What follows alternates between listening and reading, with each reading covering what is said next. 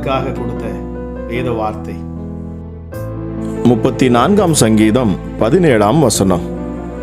நீதிமான்கள் கூப்பிடும்போது கர்த்தர் கேட்டு அவர்களை அவர்களுடைய எல்லா உபத்திரவங்களுக்கும் நீங்களாக்கி விடுகிறார்.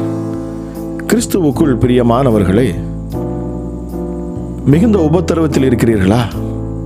ஏன் எனக்கு மட்டும் எவ்வளவு பிரச்சனைகள் என்று சோர்ந்து போய் இருக்கிறீர்களா இவ்வளவு பெரிய பிரச்சனையிலிருந்து நம்மை யார் விடுவிப்பார் என்று குழம்பி போயிருக்கிறீர்களா? நம்பிக்கையற்ற நிலையில் இருக்கும் உங்களுக்குத்தான் இன்றைய வேத வசனம் பிரியமானவர்களே நம் தேவன் என்ன செய்ய சொல்லுகிறார் பாருங்கள். என்னை நோக்கி கூப்பிடு என்று மட்டும்தான் சொல்லுகிறார். வேறு ஒன்றும் செய்ய தேவையில்லை பிரியமானவர்களே. பிரச்சனைகளின் மத்தியில் நாம் பிரச்சனைகளை பற்றி மட்டும்தான் பேசுகிறோம் புலம்புகிறோம். தேவனை கூப்பிட மறுத்து விடுகிறோம். தேவன் அவரை நோக்கி கூப்பிட சொல்லுகிறார். அப்படி கூப்பிடும்போது அவர் அவர்களை எல்லா உபத்திரவங்களிலிருந்தும் நீங்களாக்கி விடுவிக்கிறார். நன்றாக கவனியுங்கள் பிரியமானவர்களே எல்லா பிரச்சனைகளிலுமிருந்தும் நீங்களாக்குகிறார் என்று சொல்லப்பட்டிருக்கிறது. சின்ன சின்ன பிரச்சனை பெரிய பிரச்சனை என்று இல்லை எல்லா வகையான பிரச்சனைகளையும் நீக்குகிறாராம். பின் ஏன் கவலைப்பட வேண்டும்? பின் ஏன் நாம் சோர்ந்து போக வேண்டும் பிரியமானவர்களே. இப்பவும் ஒரு சந்தேகம் வரும். நீதிமான்களிடம் தானே இவ்வாறு சொல்லுகிறார்? நாம் தான் இந்த பாவம் செய்திருக்கிறோம் அந்த பாவம் செய்திருக்கிறோம் என்று குற்ற உணர்வு நமக்கு வரலாம்.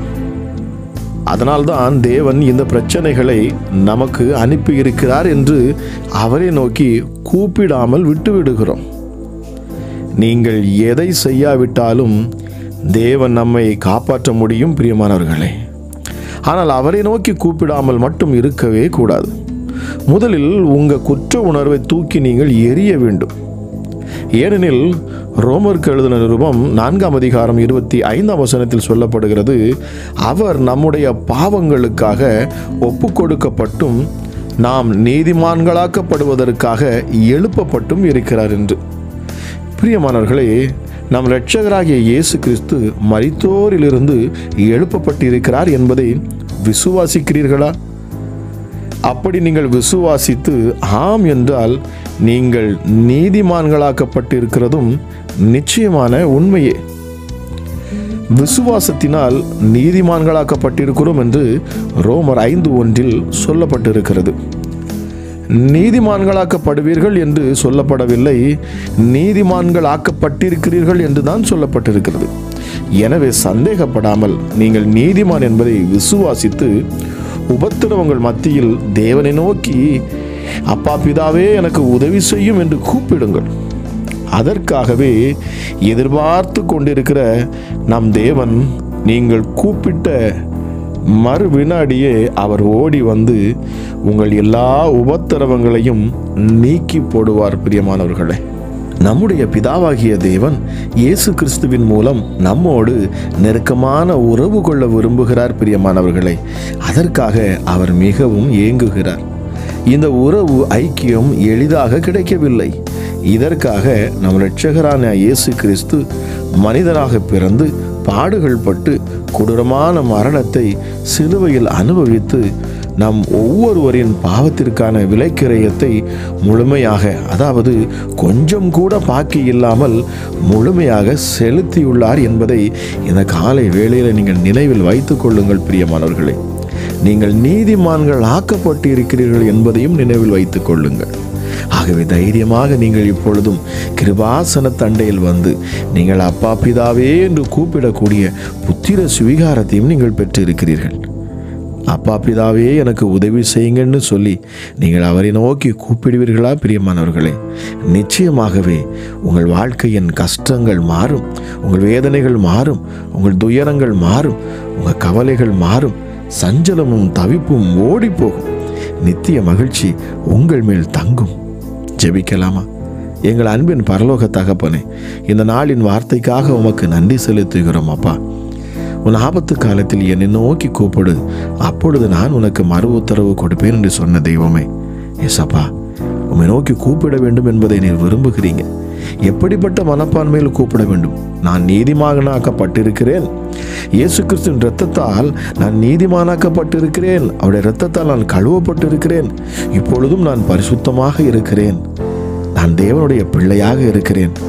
ஆகவே என் கூப்பிடுதலின் சத்தத்திற்கு அவர் உடனே பதில் தருவார் என்று விசுவாசித்து நாங்கள் நிற்கிற பொழுது எங்களுக்கு உதவி செய்வேன் என்று சொல்லுகிற நல்ல தகப்பனே உமக்கு நன்றி செலுத்துகிறோம் அப்பா.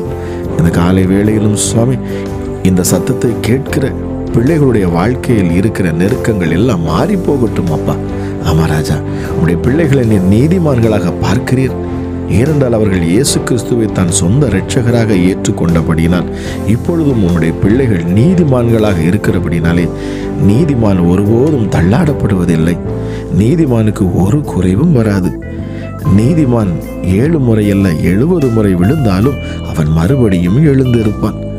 நீதிமானுக்கு வரக்கூடிய எல்லா துன்பத்திலும் நீர் நின்று அவனை விடுதலையாக்குகிறீர். ஆமா சுவாமி. இப்பொழுதும் அப்பா உடைய பிள்ளைகளை நீர் விடுவியும் உடைய பிள்ளைகளை சுகப்படுத்தும் உடைய பிள்ளைகளை ஆசீர்வதியும். அவர்கள் கேட்கிற காரியங்களை நீர் வாய்க்கச் செய்யும். அவர்களுடைய கவலைகளையும் கண்ணீரையும் மாற்றி போடும் என்று இந்த காலை வேளையிலும் அப்பா உம்மை நோக்கி நான் ஜெபிக்கிறேன் சுவாமி.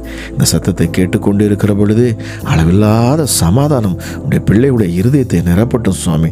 என் தேவன் என் ரட்சகர் அவர் என்னோடு கூடவே இருக்கிறார். என்னை நீதிமானா ஏற்றுக்கொண்டார்.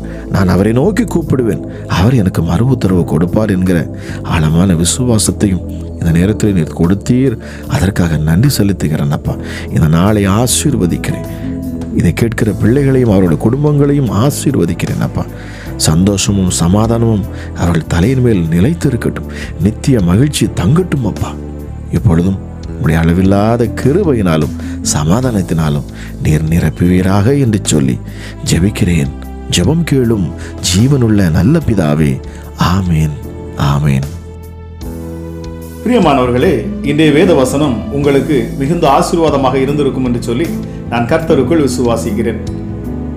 இன்றைய வசனம் உங்களுக்கு ஆசீர்வாதமாக இருக்கும் என்று சொன்னால் இந்த வேத வசனத்தை நீங்கள் மற்றவர்களுக்கும் இதை ஷேர் பண்ணுங்க. அவர்களும் ஆசீர்வதிக்கப்படுவார்கள். இது நிமித்தமாக நீங்களும் ஆசீர்வதிக்கப்படுவீர்கள். கர்த்ததாமே உங்களை ஆசீர்வதிப்பாராக. ஆமை ஜெபம் கேளும் ஜீவனுள்ள நல்ல பிதாவே ஆமேன் ஆமேன்